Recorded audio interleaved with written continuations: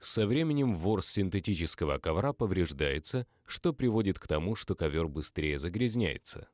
Средство для очистки и защиты ковров и обивки удаляет загрязнение и заполняет неровности в ворсе ковра грязи отталкивающим защитным слоем. То же самое со временем происходит и с шерстяными коврами. Причиной этому служит то, что натуральный жир, который находится между ворсинками меха, постепенно испаряется.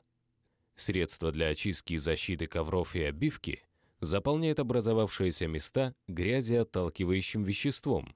Сначала очистите поверхность при помощи очистителя спрея для ковров и обивки. Нанесите средство для очистки и защиты ковров и обивки на поверхность при помощи машины для очистки ковровых покрытий и немедленно удалите средство при помощи моющего пылесоса, либо обработайте ковер щеткой.